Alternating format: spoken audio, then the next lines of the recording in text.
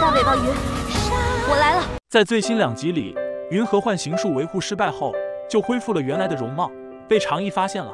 长意想到云和上一世过得太苦了，这一世就不忍拘束他，哪怕云和失忆不记得他也没关系。他只求这一世的云和能平安喜乐地度过这一生。尽管云和处于失忆之中，但云和冥冥之中还是感觉到有什么不对劲，因为云和发现长意看他的眼神不对劲。长意每次看向云和都是充满悲伤的，云和一直不明白长意为何要那样看他。在后面，朱灵奉仙姬之命去复活雷火地脉，长意忍痛让林浩清带云和远离北渊，在途中云和还是又复返了。或许这就是天意吧。阿纪终归是要做回纪云和的。在看到长意在奋力独自抵抗时，云和心痛妖力全开时，鲛人泪迸裂，瞬间恢复记忆。恢复记忆后的云和霸气护肤，夫妻一心其利断金。